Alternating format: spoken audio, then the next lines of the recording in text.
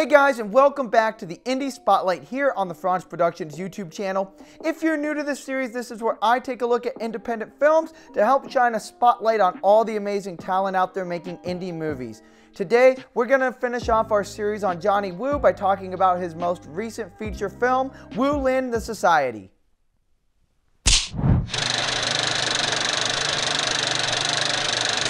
Wu Lin the Society is an action sci-fi thriller set in a dystopian future where rampant disease and poor air quality has forced everybody to have to wear masks throughout their daily lives. The movie opens up giving us a glimpse of a cult ritual before a ninja appears inside of a man's dreams and proceeds to kill him.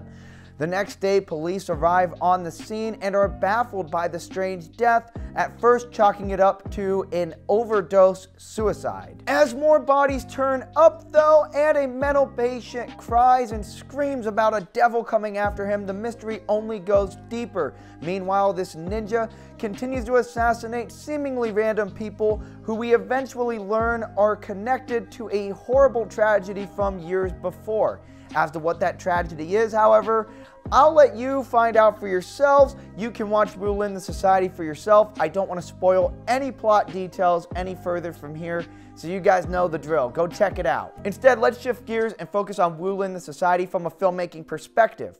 Now, the elephant in the room is the inclusion of face masks. Not only was this a stylistic choice, but as the movie was shot during the heights of the COVID-19 pandemic in 2020, the face masks were also necessary for health concerns. Where many productions shut down due to the COVID-19 pandemic in 2020, Johnny Wu found a way to incorporate health guidelines to not only keep the cast and crew safe, but also further his world building.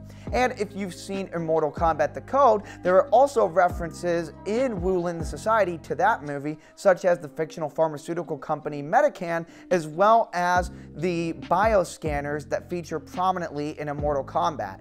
Essentially, Johnny Wu just used the face masks as another world building tool to cement his sci-fi cinematic universe. Another cool detail in Wu Lin the Society is the way that Johnny Wu was able to seamlessly incorporate a brand sponsorship into the movie. When you watch the news report, the newscaster makes note of the fact that the Cleveland Police is now privately owned, and when you look at the logo, you will notice that the logo for Moza appears. Now, if you're not into filmmaking and you're just a casual viewer, the Moza logo might not instantly mean anything to you. But if you are an independent filmmaker, you're likely familiar with their film gear. In fact, I even utilize the Moza Air 2 gimbal on a regular basis, and I even have a review of that gimbal up on my channel. So the way that Johnny Wu was able to incorporate the Moza brand sponsorship deal by utilizing it with the Cleveland police in this movie was very ingenious. In fact, you'll even notice when the police are in uniform in this film that their hats have the Moza logo on it too. Now, in all of my other indie spotlights on Johnny Wu's work, I like to take some time to appreciate the fight choreography in his movies. All of his movies feature really flashy and stylized fight scenes, and believe me when I say that Wu Lin the Society also has its fair share of flashy and stylized fight scenes, and you can tell that Johnny Wu still puts a lot of love, care, and attention into the fight choreography in his films. However, unlike Wu's previous films, I would argue that Wu Lin the Society uses the fight scenes a lot more sparingly. Instead, Johnny Wu spends more time focusing on the world building and mystery elements behind the ninja's assassinations.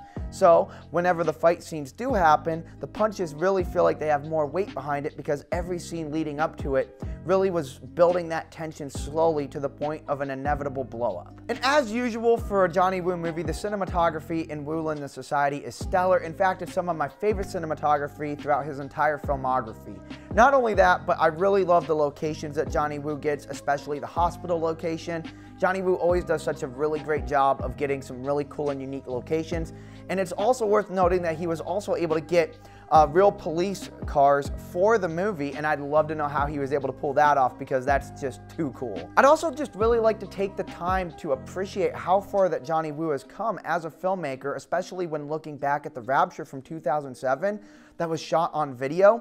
And then look at where he is today, and you can just really see that all of the production value in his movies with each project grows exponentially after each film that he does. One specific element that I really want to touch on specifically when it comes to Johnny Wu's growth over the years as a filmmaker is the use of CGI and visual effects to help convey superpowers. If you recall, looking back at The Rapture from 2007, he did use visual effects and CGI in a way that almost gave off a campy 1970s comic book aesthetic, whereas now in Wu Lin the Society, not only has Johnny Wu himself grown, but also the technology has grown so much in that field of visual effects. And what I found were the superpowers like the teleporting ninja, for instance, or you know, characters being able to shoot energy beams. All of it just appears so seamless now, and it just flows right into the world that he created throughout the rest of the film. So, what is the takeaway for indie filmmakers? That's always what I like to focus on in these indie spotlights. It's not just about the movie that I'm talking about in the video, but it's also about how does it relate to you, the audience, the people who want to make movies. Well, here's the deal. You look back at The Rapture from 2007, and then you watch Inner Self, and then you watch Immortal Kombat The Code, and then you watch Wu Lin the Society. And it is just so cool as such a good study of a filmmaker, especially, you know, an indie filmmaker from Northeast Ohio, and watching how he has grown over the years. Every project builds off of the last and improves on a technical standpoint. But at the same time, Johnny Wu hasn't lost his roots. He hasn't forgot his vision. You know, he's still a huge fan of science fiction and martial arts, and it shows in all of his work. And all of these films have really small budgets, okay? Johnny Wu isn't working with some big Hollywood studio with millions of dollars at his disposal. He's working right alongside us, the low budget indie filmmakers of Northeast Ohio that will pour their blood, sweat, and tears into a movie, even on such a minuscule budget. Why? Because we love making movies. There is a saying that money doesn't buy everything, and that is especially true in filmmaking. Sure, there's a lot of aspects of filmmaking that cost money, like gear, or, you know, let's say you wanted to do some crazy, like, explosion effect, you know, and do it practically but here's the thing in reality, creativity, drive, determination, and a vision does not cost anything but your time, your commitment, your love, and your passion. And if you have all of that, then you can make your movie. Don't let anything stop you from making your movie. Don't use an excuse that I don't have enough money or, you know, I don't know the right people. There's a lot of groups on Facebook. All you need to do is make a post, say that, hey, I want to network with some filmmakers, and there's lots of people out there that would be more than happy to help you, you know. And if you're from Northeast Ohio and you're from the Akron, Canton, Cleveland area, the Cleveland Indie Club, which is actually ran and hosted by Johnny Wu, is an excellent group to be a part of, not only online, but also for the in person meetings. Okay? There is nothing stopping you from making your first movie other than you. Anyway, guys, that is all I have time for here today. Remember, if you like this content and you want to see even more videos on indie filmmaking, go ahead and drop a like, subscribe, and turn that bell on for notifications so you never miss a new video on the Fronz Productions channel.